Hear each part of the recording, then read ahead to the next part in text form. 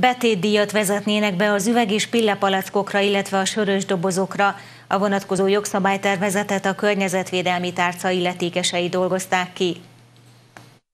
A Környezetvédelmi Minisztérium decemberben bocsátotta közvitára azt a jogszabálytervezetet, amelynek értelmében betétdíjat vezetnének be a palackokra, illetve sörös üdítős dobozokra. A tervezet értelmében 2022-től egyenként 50 banit kell majd fizetni a megvásárolt üveg és műanyag palackok, valamint az alumínium dobozok után. Ezt vissza lehet majd igényelni, amennyiben a megvásárolt palackokat és dobozokat üresen, tisztán, szelektív válogatás után visszavisszük az üzletekbe, mondta el Táncos Barna a szaktárca vezetője.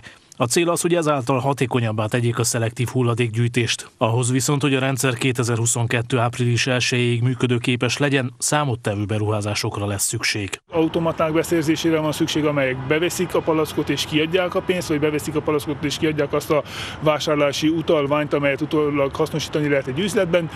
Szükség van egy logisztikára, akik összeszedik ezeket a palackokat, válogató rendszerekre, amelyek külön csoportba osztják a, a nyersanyagot, tehát egy óriási rendszert kell kiépíteni, hihetetlenül rövid a, a rendelkezésünkre álló idő, de ezen dolgozik most az egész csapat, aki a minisztériumban a hulladék gazdálkodásért felelős. A tervezet minden olyan műanyag, alumínium és üvegpalacra vonatkozik, amely legfeljebb 3 liter űrtartalmú kivételt a tejüzemi csomagolások képeznek. A jogszabálytervezet hamarosan a kormányasztalára kerül.